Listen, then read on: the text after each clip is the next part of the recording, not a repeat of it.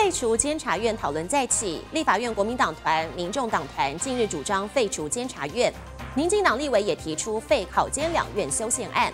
对此，监察院长陈菊今天说，他对三权分立的理想从来没有改变，只要立法院透过修宪程序来废除监察院，他会全力支持并且尊重。我们对三权分立的理想，呃，从来没有改变，充满期待。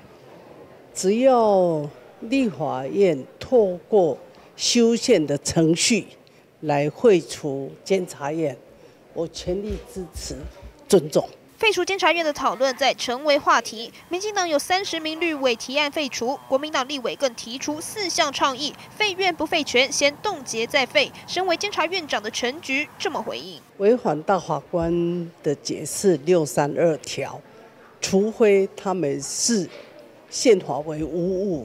不尊重宪政程序。虽然支持立院修宪废监察院，但蓝营提出的倡议，全局直呼违宪。现在有立委打算冻结监察院预算，因为根据预算书，以今年度的预算为例，监察院一整年税出超过十亿五千万元，其中光人事费至少七点六亿元。除此之外，每位监委包括院长、副院长二十九元，还配有两千 CC 的坐车，也让蓝营再批陈局支持废院，还当院长。这世界上最荒谬、最荒谬、最荒谬的一件事。就是一个主张废除监察院的人去当了监察院院长，把监察院的宪政职能全部废光光，还进化成东厂院，但是呢，薪水领得很开心。好，我们不冻结监察院预算。